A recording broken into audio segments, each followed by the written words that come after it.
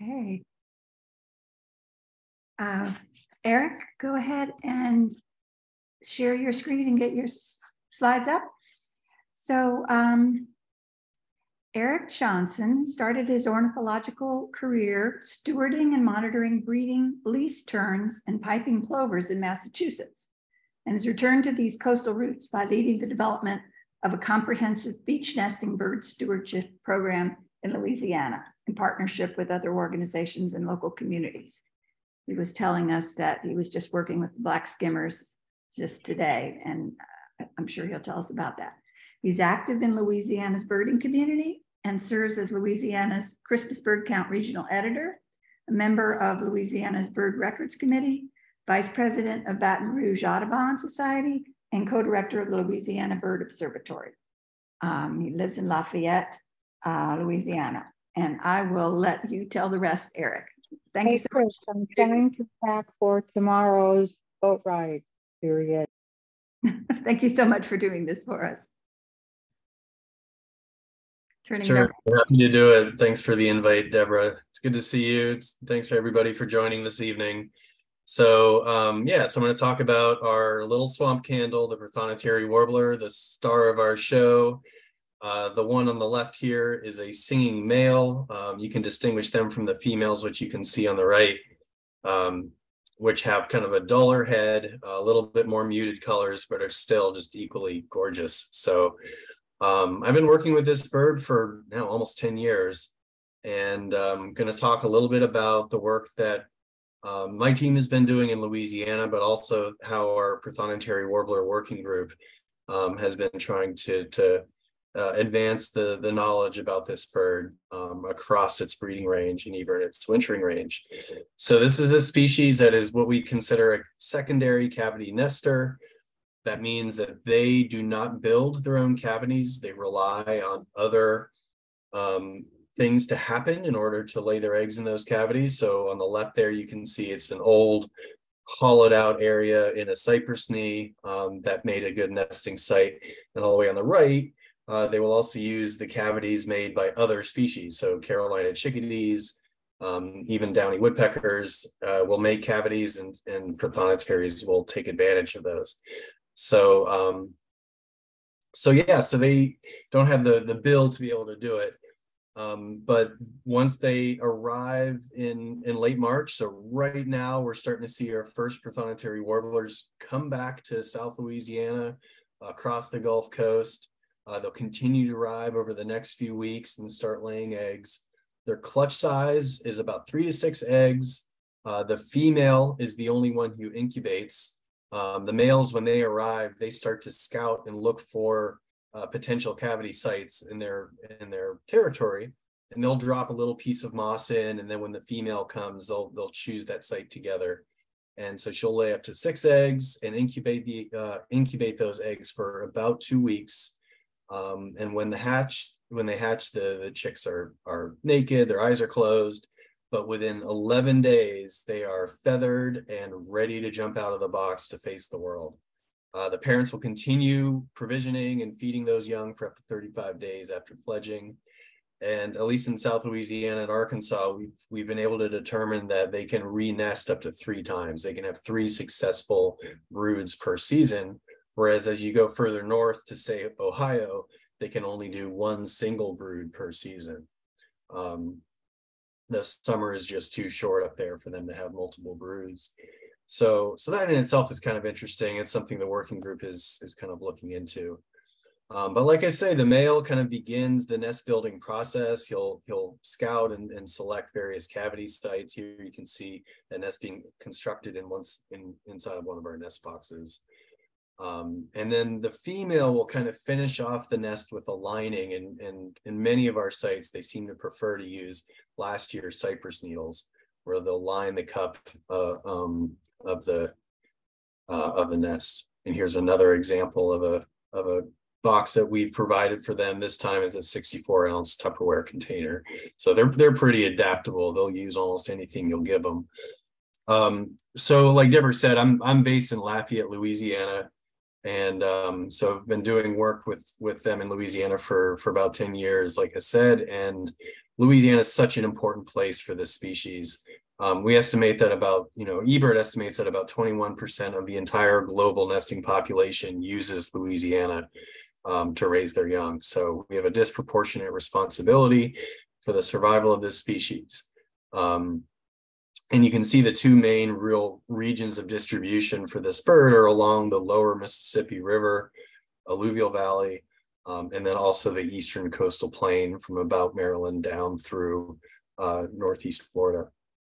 Um, so as many of you probably know, uh, many migratory birds are in steep decline. And so that is why folks like myself and the Audubon Society and other organizations are are working on these birds to try to figure out how to bring them back.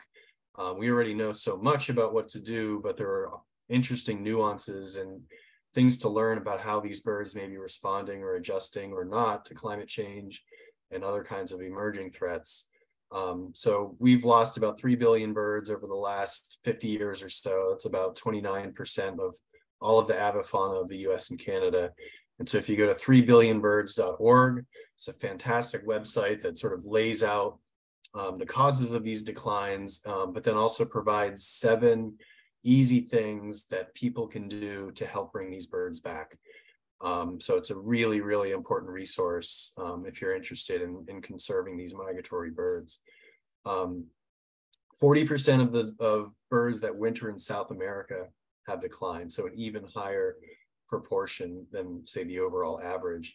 And prothonotary warblers is one of those birds in the 40% range. So um, this is what the population's trend look trends look like over the last uh, 50 years, according to the breeding bird survey data. Um, so it's about 0.7% per year, um, or about 31%. Um, the good news is that their populations do seem to have stabilized over the last, you know, decade or so, a little bit longer. So um, the declines were, you know, aren't as rapid as they were um, in the 60s and 70s. Um, but one of the interesting things that we started to realize when we compared the rates of decline um, against the loss of bottomland forest habitat in the United States is that the pace was was much faster than the rate of forest loss, suggesting that there's other things going on. And when we look at winter habitat loss like mangroves, the correlation um, becomes much stronger. So there's a strong possibility that a lot of what's driving the declines of um, this species is, is happening on the wintering grounds or at least on the migratory grounds when they're using um, habitats outside outside of the United States. And of course, we know that you know even though those counts only go back to 1960, the majority of habitat loss uh, that this bird was affected by happened well before that. So the lower Mississippi River alluvial valley was largely cleared in the late 1800s, early 1900s, and only 20% of it remained um, by 19 by the 1960s. And of course, it fueled economic growth and agricultural expansion. Um, major cities, uh, you know, were, were built around this kind of economy. The Mississippi River itself is a critical shipping and navigation um, channel for for for our U.S. economy. Um, but the consequences is just the loss of these birds. Um, and of course, avian extinction. So we've, you know, even seen the, the loss of Bachman's warbler, which depended on these kinds of habitats, and ivory-bill woodpecker. And I would love to chat ivory-bill woodpecker on another day if people would like to, but uh, the latest science suggests that it is extinct. Um, I know there's hope out there, and boy, am I hopeful too. Um, so what I'm going to talk about today is how we've been advancing sort of the science and understanding of prothonotaries warbler ecology, uh, how we've been using community science to enhance breeding habitat. Um, and then I'm going to finish off by talking a little bit about how we're restoring critical habitat here in Louisiana to support this bird. So I'll start off with the science of warbler ecology. And those questions are going to connect to uh, these three topics. So migratory connectivity, so learning about the migrations of these birds. Um, I'm going to talk a little bit about the regional and habitat variation in nestling diet. So we've been doing some cool stuff there. And then I'm going to give you a little preview on some new work that's emerging um, to start to understand how resilient these birds may be to, to climate change. So I'm going to start with migration research piece. Um, this is a, a, beautiful male prothonotary warbler that returned after a year of carrying this device called a geolocator. I'm going to talk about what that is. Um, but first, we know that prothonotary warblers are not in the United States in winter. The geniuses at eBird put this wonderful map together showing the distribution and the arrival of, of prothonotary warblers in the spring, and they're largely gone from the continent by, by September, October, um, and you know, to our south in the in the winter time, in our winter time. So I just love how this uh, lights up showing just the important places across the southeastern United States for this for this species. Um, and we honestly don't know a whole lot about the wintering range of the Prothonotary warbler. Um, we kind of know where, where they show up during the non-breeding season, but we don't have a good sense of how important those various places are.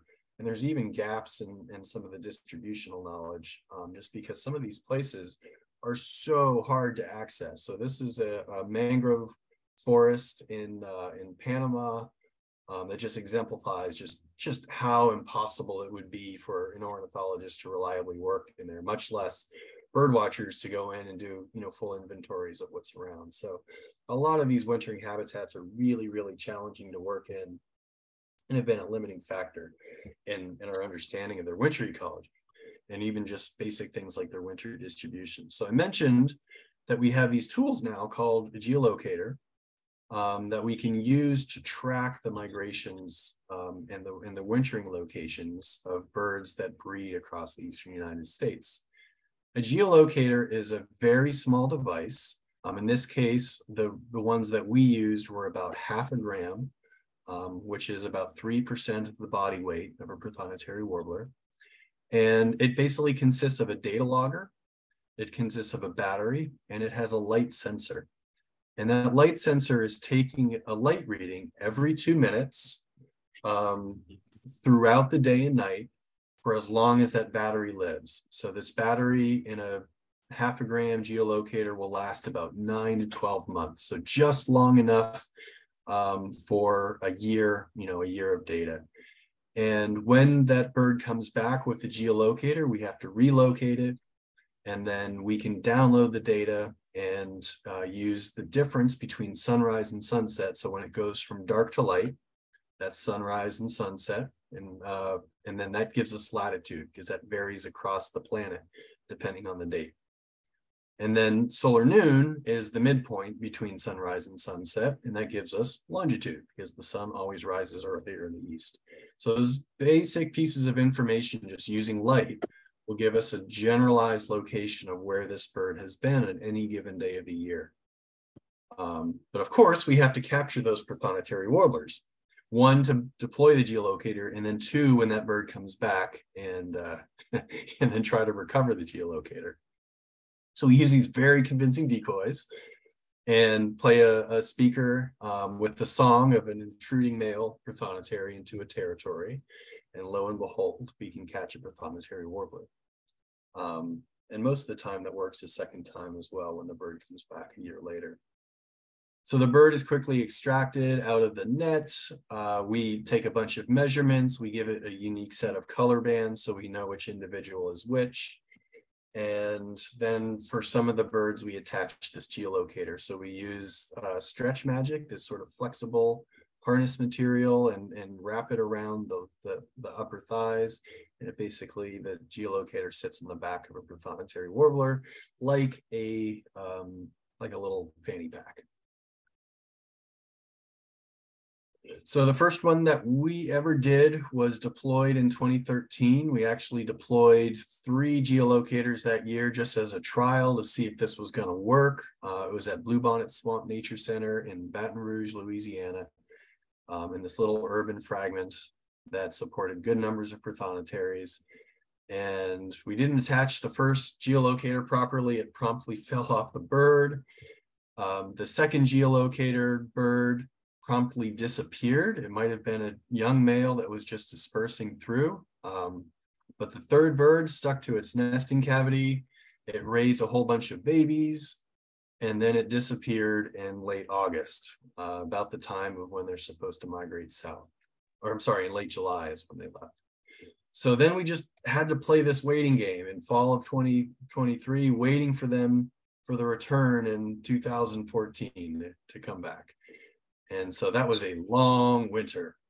um, but fortunately, our one of our primo volunteers, John Hartgerink, on March 24th, heard the song of a prothonotary warbler. And the next day, we realized it was that bird. And so we ran out there, dropped everything, and then captured that prothonotary warbler. So um, that was the first bird that was ever tagged, and this is the route that it took. So it left Baton Rouge in late July, um, hung out on the coast for, uh, for a couple of weeks before it flew across the Gulf of Mexico and then went east uh, through the Yucatan Peninsula. Um, spent another month there or so, kept going east to Cuba, and then hung out in Jamaica for a month, and then flew across the Caribbean, um, where it finally spent the overwintering period in northwestern Colombia. In early spring, it started coming back at the beginning of March, made a beeline up, up through Central America, departed the Yucatan the night of March 23rd, and was found singing 100 meters away from its previous year's nest box on the afternoon of March 24th. It made a single flight from the Yucatan to Baton Rouge and began setting up its territory in the afternoon of March 24th. Just absolutely remarkable. So this bird spent three and a half months migrating south, three weeks coming back north, a minimum of 5,000 miles traveled, it touched down in at least seven countries and made three major water crossing. Not bad for a bird that weighs the equivalent of five pennies. So meanwhile, that winter, while we were waiting for this important bird to be coming back, um, we started establishing a working group of researchers and conservation minded individuals and organizations across the eastern United States. Um, that included an office uh, of Audubon in South Carolina, our office in Louisiana, um, Chris Tonra at, at, Ohio State University, Than Boves at Arkansas State University, um, uh, folks from Virginia Commonwealth University, Smithsonian, U.S. Fish and Wildlife Service, and others um, we're all starting to talk and coordinate. And we, our first mission was to deploy a whole bunch of geolocators from across the breeding range, um, which we did starting in 2014. And we were going to ask questions like, are the eastern population of the birds, right, the, eastern coastal plains along the Atlantic seaboard, wintering in a different location than the birds in the Mississippi alluvial valley? That's a pretty basic and straightforward prediction that you might expect. Um, but we also consider the possibility that you might have some mixing on the wintering grounds. And all of this is really important for understanding where to put your conservation dollars um, if you're if you're trying to recover a declining species. And what we basically found was the latter. Uh, they were mixing on the wintering grounds. And in fact, the geolocators that recovered from six states, 88% of those birds overwintered in northern Colombia. Northern Colombia is where it is at if you are a wintering prothonotary warbler. Um, it was just really surprising to see that concentration of birds um, in that area. We estimate that 20% uh, of the land area on the wintering grounds supports the entire um, breeding population. So the breeding population concentrates itself into 20% of its breeding area. Um, pretty remarkable. While we were doing that, we also were able to understand the important stopover sites, both in, uh, and this is in fall migration, so the Yucatan, the lowlands of Honduras and Guatemala, and then the lowlands of, of Panama and Costa Rica were really important um, migratory stopover areas for, for many of these birds, where they spent a lot of time and, um, presumably refueling and, and getting energy to make the next move. So we wanted to make sure that this result was accurate. So we took a second approach to also understand um, what we call this, this in what we call migratory connectivity. So understanding where breeding birds are spending the winter and vice versa, where where wintering birds are coming from. And for this, we used uh, what's called uh, stable isotopes that are found within the feathers. And so when we were catching birds, um, in this case, both in the United States and our partners were catching birds in um, Costa Rica, Panama, and Colombia, um, as well as some of the Caribbean islands and the Lesser Antilles, we were able to analyze those feathers for the ratios of hydrogen isotopes. And the variation of those isotopes changes across the, the United States where these birds are molting those feathers. So in theory, you can more or less understand uh, if you have a bird on the wintering grounds, where that bird has come from based on the ratio of, of hydrogen isotopes inside that feathers.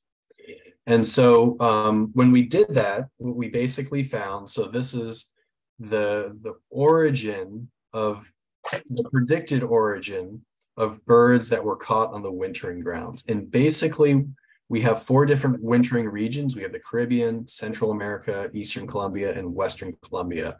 And what this basically shows is that there isn't a lot of difference. Basically, there's a lot of mixing on the wintering grounds where you have individuals coming from all different parts of the United States um, to those wintering areas. So it confirmed what we were basically seeing with the geolocator data. So we have two pieces of evidence to suggest that um, that the migration of prothonotary warblers is actually fairly unique among migratory birds. This is an ovenbird. Um, this is a, a, a, very common pattern that a lot of uh, migration tracking studies are starting to reveal. Um, that basically eastern populations and western populations of of, of these migrating birds are overwintering in different regions. So there's not a lot of mixing on the wintering grounds. Um, and again, I mentioned this has important implications for conservation. So in this particular example, if you're going to protect wintering grounds, say on the Dominican Republic, you're only going to benefit those birds that come from the eastern United States. Um, whereas if you spend resources to in, invest in uh, habitat conservation in say Guatemala, you're only going to benefit those birds in the in the western part of the range. And for prothonotary warblers, it's quite the opposite. If we invested resources in, say, Northern Colombia, we're benefiting prothonotary warblers from across the breeding range. So that it's really helpful to understand those kinds of benefits and consequences of, of where you spend your conservation dollars. And this has actually stimulated a lot of interest in Colombia um, to do mangrove restoration, for example. And we're working with partners and having conversations about how to get that work done. So um, that's very, very exciting to see that, that it's already being used for, for practical purposes. So I'm going to shift gears a little bit and talk a little bit about, about our nestling diet work. Um, this is just another wonderful photograph by our volunteer, John Hartgerink, uh, showing a male prothonotary warbler bringing a tasty morsel to its nestling. Um, and so what we did here is um, we're asking questions around the, the proportion of the diet that um, comes from aquatic insects versus terrestrial insects. Um, aquatic insects in general offer higher essential fatty acid, acid content than terrestrial insects. What that means for a growing prothonotary warbler is that it has more energy and more nutrients to pull from um, if they're being provisioned aquatic insects. And of course, prothonotary warblers live in wet environments, but those environments aren't always wet. We've altered them through, through hydrologic changes, through dams, um, in all kinds of other ways. And so the hydrology of these systems across the eastern United States is very different than they were historically. And so, um, so it's important to sort of understand how these birds might be responding to the availability of food in the environment and what kind of consequences that has on the on the on those nestlings. Um, we were also asking questions about regional regional differences or seasonal differences, and the way we did this is we basically collected what's called an environmental sample. Um, in this case, it's nestling bird poop. Um, and so we would take a fecal sac from a nestling, um, that has DNA in it from all of the food that it was um, just eating. And then um, in the laboratory, we can amplify the DNA out of that low quality sample and get strings of, of, um, uh, of DNA chains. And then we can compare those DNA chains against a reference database of all of the known insects um, in the eastern United States, and we can assign the, the diet You know, we can basically figure out what the diet is of these birds um, using this high throughput DNA processing system. Um, I am not a geneticist. Uh, I don't even play one on TV. So um, our partners at Virginia Commonwealth University were the leads on this, um, and, a, and, a, graduate student, uh, Sam Rogers, was the was the uh, was the main um, analyst. So here you can kind of just get a sense of the variety of diet. Each one of these um, complicated uh, scientific words at the bottom is a different group of insects. So Lepidoptera are the butterflies and moths, so probably mostly caterpillars. Araneae are the spiders.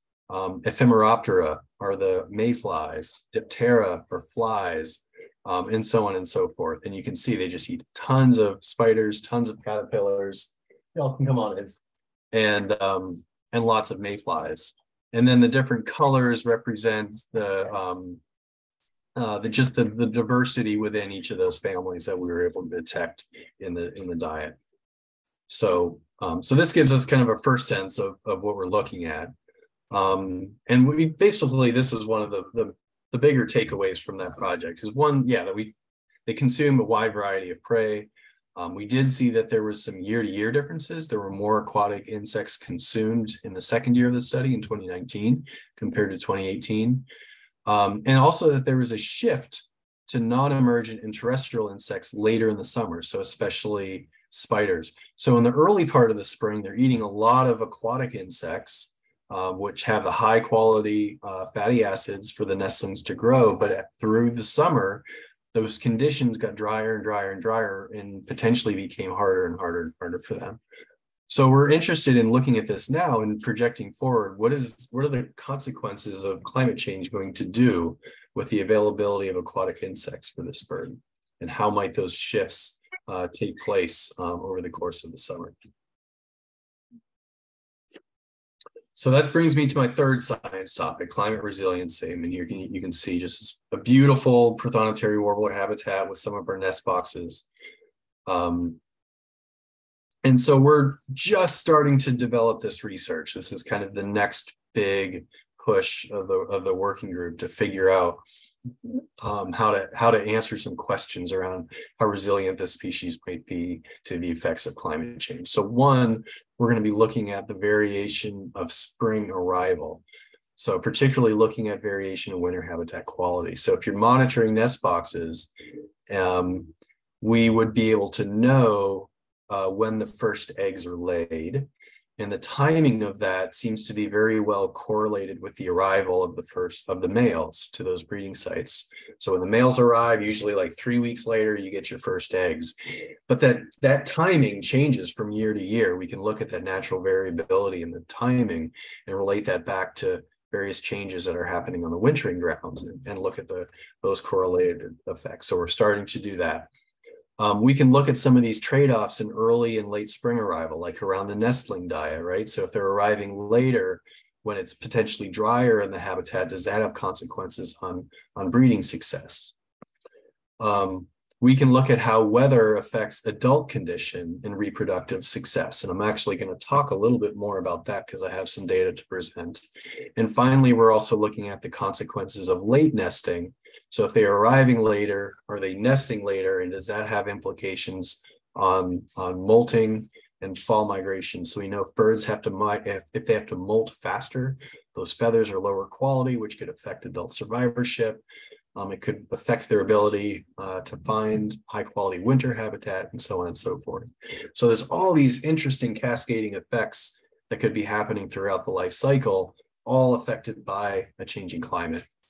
So I'm going to talk a little bit about this third bullet. How does weather affect adult body conditions? So I've started to look at some data and I apologize, this is kind of graph heavy, but I'll try to give you a, a good sense of what we're doing here. Um, so we can look at the condition of a bird. This is basically like a body mass index that that humans are subject to, right? So you go to the doctor, you get your height and you get your weight measured and you get a body mass index. We can do the same thing for a bird. Um, the general idea is that during the breeding season, a lighter bird means it's in better condition. It means its food resources are more predictable, so it doesn't have to store fat in order to deal with those unpredictable food uh, resources. Um, but also a lighter bird means it's less likely to get eaten by a sharp-shinned hawk. right? It's able to, to negotiate and navigate away from predators. So we want to see light birds uh, in the breeding season. The other thing we do know from our data um, is that over the course of a day, birds get heavier. So they lose weight overnight and they actually get heavier during the day. So these are actual, uh, this is called mass corrected for body size. That's like the body mass index. So they're getting heavier over the course of the day. So we need to correct for that in any kind of, um, you know, statistical analysis, any kind of uh, evaluation that we do with the data. So we have to put that into a model. The other thing that we've started to look at are these climate oscillation indices. Um, there are three major drivers of how climate in the southeastern United States are affected. So whether it's relatively hot, relatively cool, relatively wet, relatively dry, these are the three main sort of major um, oscillations. So there's the El Nino La Nina cycle. There's something called the North Atlantic oscillation, and then there's also the Pacific North American oscillation. And what we did is started, basically you get a uh, climatologist produce a monthly index of whether these oscillations are in a positive phase or if they're in a negative phase. And those phases are correlated with whether it's hotter or colder or wetter or drier. Um, and they all interact with each other. And so it is a little bit, you know, complicated, um, but we can take those indices and compare them against our average monthly body mass index for birds and see which if birds are becoming lighter or heavier in response to these different climate oscillation patterns. Um, so the first one I'm going to show here, this is the North Atlantic Oscillation Index. So here on the right is the positive phase. Here on the left is the negative phase. Um, and there's a, and basically there's no correlation with changes in body mass index. So this oscillation index doesn't seem to prothonotarians aren't responding to it. And we saw a very similar pattern with the El Nino La Nina system, what's called the Southern oscillation. So, so that one doesn't seem to be very important. But when we look at the Pacific North American Oscillation Index, there is a really strong correlation. So in, in periods of time when this oscillation is in its positive phase, birds are lighter, they're in better body condition. And what that seems to correlate with is wetter and cooler conditions during the summer in the southeastern United States. Prothonotary warblers like it wetter and cooler, which is the opposite of what climate change is going to do to the region. Um, so this is just the Louisiana birds, right? We're at the southern range of the of the breeding system. Um, it'll be we're we're going to start looking at this like in Ohio, in Arkansas, in Virginia, in Wisconsin, and and try to ask some of these same questions um, to see if they may be responding differently in different parts of the range. Is there are they adjusting by maybe shifting? You know, would they be able to adjust by maybe shifting north? Um, so anyway, so this is like a first peek. I've literally never presented this to any other group yet. Um, but I'm excited about moving this climate resiliency work forward and um, and seeing what we come up with. So stay tuned for more. So that wraps up that little segment. I'm going to talk a little bit about how we're enhancing breeding habitat through community science. So this is something that our Audubon chapters are involved in, bird clubs, volunteers, um, all of that kind of stuff. And uh, they're collecting data also that are helping um, with some of these bigger questions too. So because prothonotary warblers are a cavity nester, um, they are really uh, a great species um, to monitor and to, and to put out nest boxes for. Um, and they're really not picky at all, right? Here's an example of a pair using an old light fixture on somebody's front porch. Um, they'll use cardboard boxes. They will use an old shoe. They'll use a, um, a coffee can, right? They'll use PVC. They use Tupperware, they use wooden boxes. So almost anything you can think of that has the right dimensions uh, would likely support prothonotary warblers. So here's a couple different examples. It's really important to have your predator uh, to have your boxes predator guarded. So don't just staple them to a tree where a snake or a raccoon could get in. Um, so we have these two different methods. One on the left, we use a four by four like six or eight foot um, post, and you can uh, with a post hole digger put that in the ground, and then wrap it with uh, two feet of aluminum flashing, and that does a remarkable job at keeping snakes and, and mammals out.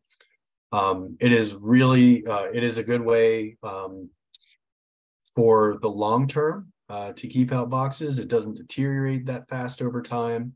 Um, and so it's it's a really great method. It's a little bit more expensive than the alternative method on the right, which is basically like a, a five or six foot um, U post or T post that you can get at Lowe's. You post post pound that into the ground, uh, screw in a T bar to the top, and then use a, a five gallon bucket with the top cut off as the predator guard, and then mount your box to that um, upside down bucket. Um, that plastic wears down over time. That T post uh, gets loose over time. And so there's a little bit more maintenance involved in that, but it is cheaper in the upfront. So, um, but those are the two primary methods that we've been using in, in Louisiana and, and both work really well. Um, the other important thing that we do is, is we drill our holes to be one and one quarter inch. Um, one and a half inch is good for things like bluebirds. It's also good for things like brown-headed cowbirds. And so by going to one and a quarter inch, um, we can still get boxes used by prothonotary warblers with really high frequency. And we have literally never, in hundreds and hundreds of nesting attempts, had a cowbird parasitize that nest, even in places where cowbirds are rampant. So one and a quarter inch is a really good cavity diameter for prothonotary warblers.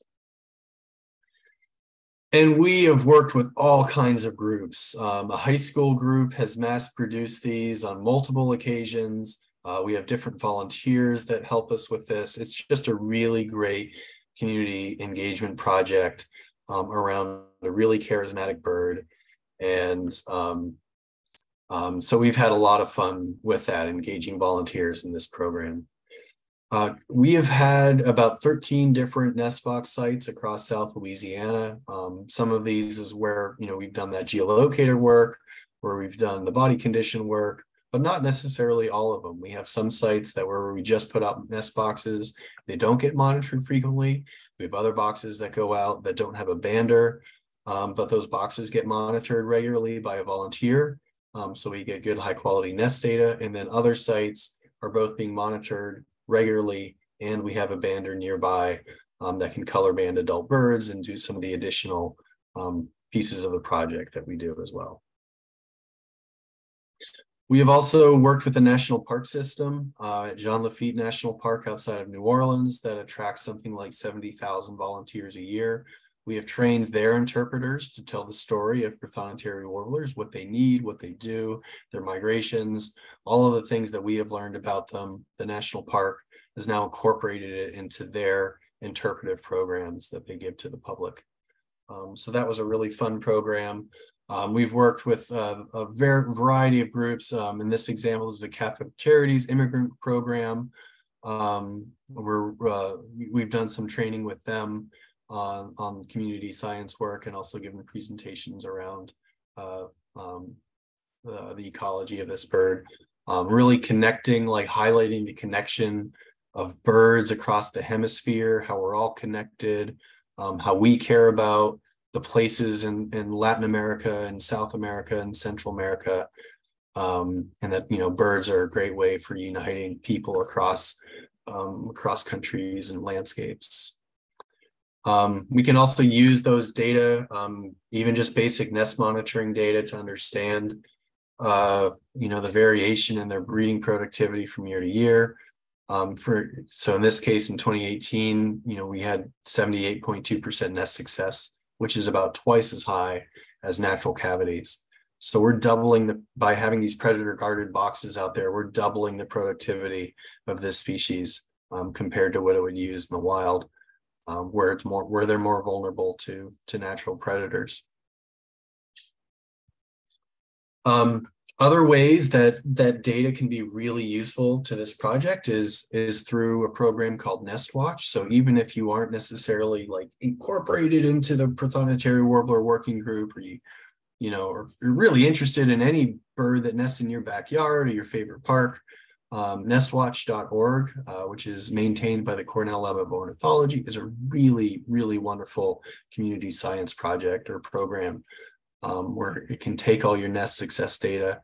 Um, and we're actually going to start mining NestWatch a little bit for Prothonotary warbler nest data to see if we can add that into our climate resiliency work. So it's a great community science tool. Of course, eBird is another one. Um, eBird data are being used uh, for so many different purposes these days to ask big questions about population changes, about range shifts around all kinds of stuff. So um, definitely if you're a birder, keep, you know, continue to use eBird or start using eBird. Um, it's a really, really valuable contribution to, to bird conservation. Okay, and I'll finish off by just talking a little bit about how we're restoring critical habitat for prothonotary warblers. Um, and this goes beyond just putting predator guarded boxes out in the out in the swamp. So so coastal Louisiana is you know the backdrop to this is is that we're in a land loss crisis. Um, we've lost an area equivalent to the size of Delaware to open water in the last 80 years. Um, that's about 2,000 square miles or 4,800 kilometer squares. Um, and so without restoration action, the future of coastal Louisiana is is pretty dire, frankly. Um, but there is really a lot of work going into trying to trying to restore the habitat um, and to restore ecological process. And so the way that Louisiana got here is is the fundamental reason is is basically that we leveed the Mississippi River. The, the river built this coastal landscape, and it did so by overflowing its banks every so often. Um, and of course, with that overflowing water, there's sediment, there's nutrients, um, and there's land building capability in that river. And the river would shift every thousand years or so and create a new delta lobe. It would abandon it and find the new path of least resistance, create a new delta lobe, and, and really build South Louisiana.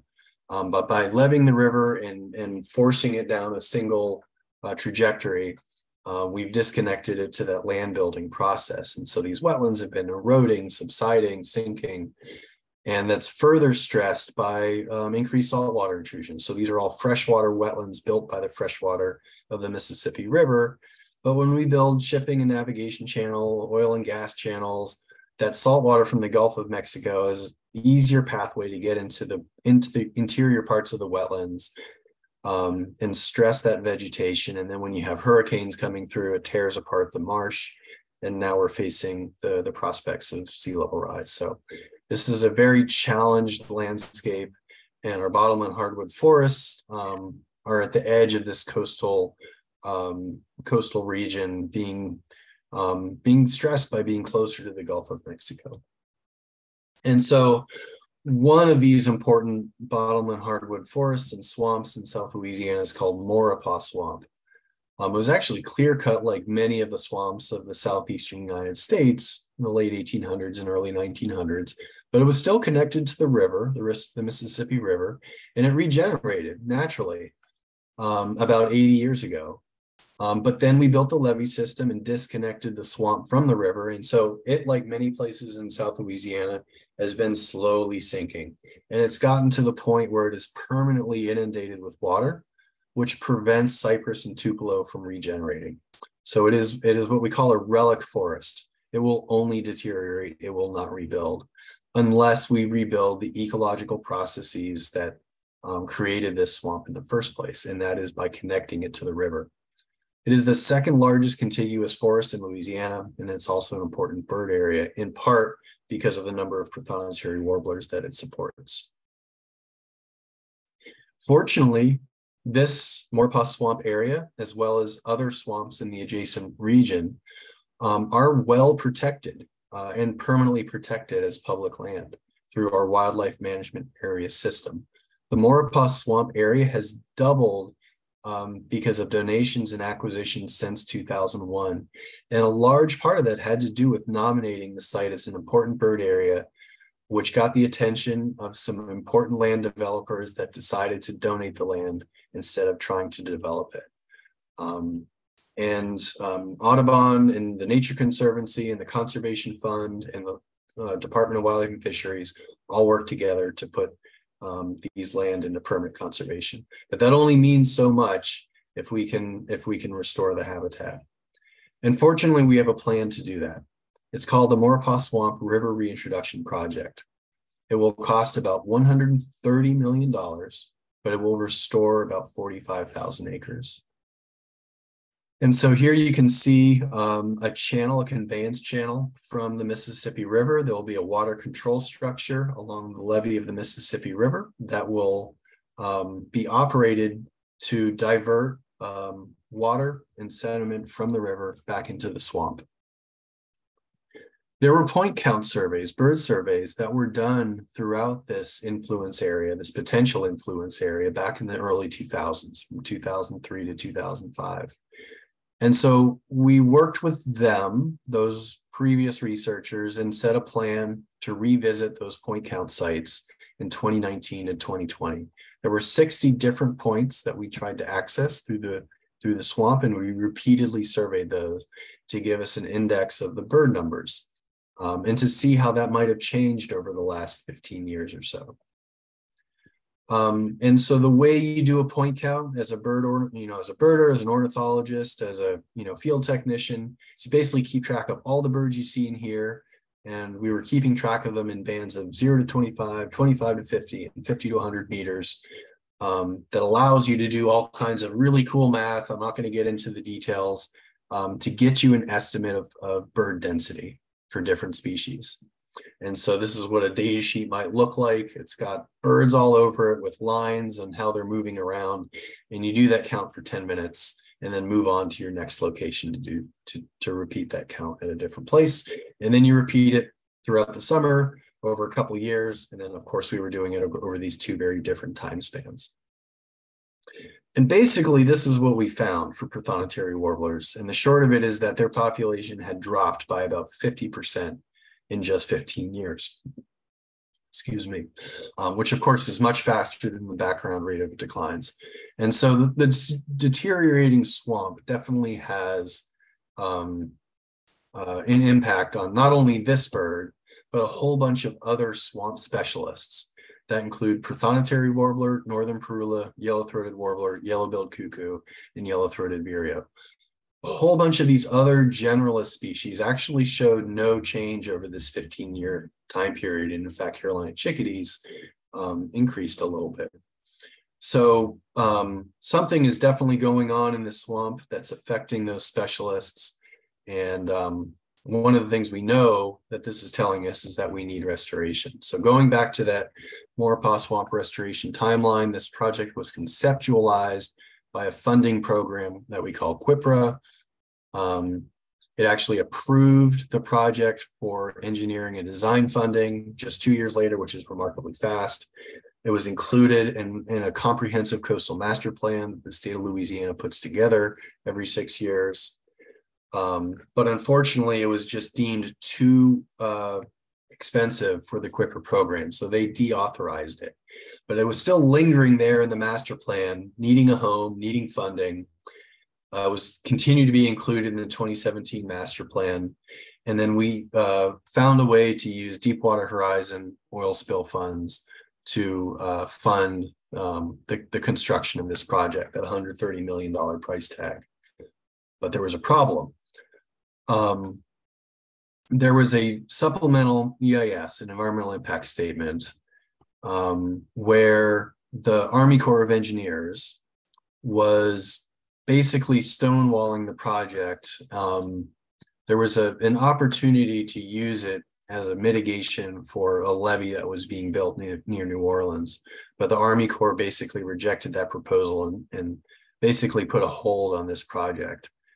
Um, so Audubon and our coalition partners at the Mississippi, uh, the Restore the Mississippi River Coalition, we mobilized our membership, we mobilized our volunteers, our um, advocates, and we submitted 30,000 letters to the Army Corps um, to say that they need to use the Maurepas project as mitigation for that levee. And in the final in EIS, the Army Corps agreed to do it. So we were able to help move this project forward, which is now going to go into construction as early as this year. So we're super excited about that. This is a major um, a major win in conservation uh, for this important habitat, for this important bird. Um, actually, this bird was photo. This specific photograph was taken in Maurepas Swamp when I first learned about it moving to Louisiana in 2003. Um, this actually this was 2004 when this photo was taken, and um, I fell in love with Prothonotarides then, and it's really cool to kind of see the the progress that has been made over these years um, to get more Maurepas Swamp uh, for funding. So that wraps up my talk on Prothonotarides. Thank you so much for coming. Here's my contact information. If you'd ever like to reach out, if you have questions, if you're interested in nest box monitoring, um, anything, you know, happy to happy to answer questions. So thanks so much. Terrific. Yeah. Thank you so much. Let's hear some questions. Yeah, and you can unmute yourself if you'd like to ask the question that way instead of typing.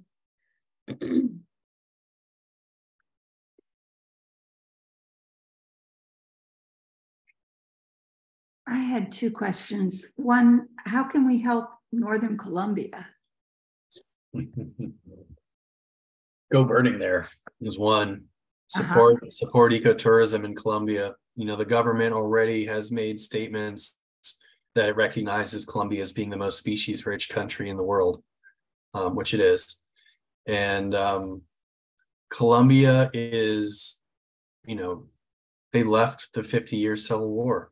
They've settled. They they are moving forward with in, in a new era of economic development, of um, ecotourism, of um, bird conservation. Um, they recognize that that ecotourism has to be a part of their economy, and so that's one way to support it. Um, how else to support them is tough um, from a like on the ground advocacy standpoint.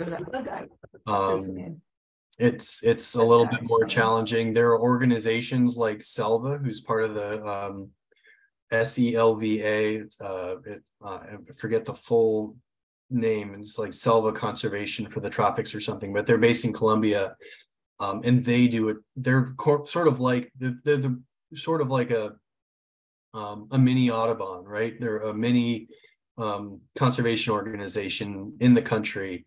They do a lot of bird science, but they also are really well connected to local governments, uh, to decision makers, and to the national government. Um, they have a project right now where they're working with several national parks on the northern part of the country that are trying to restore mangroves. Um, and they're trying to do it right. And so Selva is providing information on how to do that, um, how to plant the trees, how to space them. Um, there's just a lot that, you know, you would think that they would know how to restore mangroves, but we kind of don't. Like that's that's still new science, and so Selva is working with them to to help figure that out. So supporting those kinds of conservation organizations with your dollars, right, um, with your donations, is a, is a good way to support conservation in Colombia as well. So mangrove is the primary habitat where they are there? Pretty much, yeah, yeah. They can be. I I um, I did get to do a trip uh, in northern Colombia a couple years ago, and it's it's remarkable. Um, like I said, you know, the entire breeding range concentrates into 20% of the area, and a lot of that is mangrove swamp. They form these communal roosts that can be hundreds of birds. And so in the mornings when they're leaving their roosts and going to their day foraging areas, it's just like swarms of Prothonotarides moving through these trees. It's absolutely spectacular. Um, so, and they, you know, northern water thrushes and um, blackpoll warblers and all kinds of stuff. Or, you know, a lot of our birds are in northern Colombia in the winter. So it's just a really important place. There's tons of endemism. Like there are hummingbirds found in those mangrove swamps in northern Colombia that are found nowhere else on the planet. So it's it's just a really amazing place. If, if you've never been to, to Colombia, I highly recommend it. It's not expensive. Um, the people are super friendly. It's safe. It's it's just a wonderful place to go. Wow. Okay. And then uh, how do your geolocators relate to Motus? And they're two different tracking technologies. Motus is a um, a network of receiving stations basically, uh, you would put what's called a nanotag on a bird. A nanotag sim- transmits a frequency at a certain wavelength that is programmed to be received by all of those mo- Motus stations. What makes the tag unique to an individual bird is that there is a code embedded within the pulse, within that within that ping. And that code is transcribed by a computer within the Motus station that identifies that unique tag and therefore that unique bird. Um, with those nanotags, you don't need to recover those a year later to get your data. You just need those birds to fly close to a Motus station. And so that's the limiting factor is like where there aren't Motus stations, it's not gonna, you're not gonna get data for, for those birds. Um, but that Motus network is growing not only across the US and Canada, but throughout Latin America as well. Um, so that's another, you know, potential way of supporting the science of bird migration in, in Latin America is to help support the construction of and maintenance of a, of a Motus station or do one locally. Um, a lot of a lot of Audubon chapters across the network are, are are investing in a local Motus station that they maintain and our national science staff at National Audubon are helping support that in various ways. So if that's something that your chapter is interested in, there may be resources to help set up and train you on how to maintain a Motus station. So a geolocator doesn't transmit any data, it all stores it on, on the unit. And so you have to get that data from the bird a year later. And so birds, you know, don't make the migration, they die. Um, but the ones that come back, you get the data for. So there's a little bit of a bias there too, that you're only getting quote unquote the best birds when you use geolocator data. So that's why we also wanted to use that isotope data because that doesn't require any recapturing. Um, you can sample a lot more birds. And it was encouraging that we got a very similar result from that um, along with the geolocator data. Okay. Well, I'm seeing the chat a lot of wonderful presentation. Thank you so much. Welcome. Thank you. And several congratulations on the Maurepas restoration. It's quite a achievement. And somebody asked if there are warblers that breed in Florida, and and we can answer that. That yes, they do. Nor Northern Florida, right? Yes, Central Florida. It's just about it's the lower limit from where we've ever seen them. Yeah. Yeah. So this gives us good information. Maybe we can help learning more about them. Yeah. Well, if y'all ever have any questions, I'm an email away. That's wonderful. That's awesome. All right. Thanks again, Erik. Thank okay. you. Y'all have a great evening. All right, you too. Bye bye.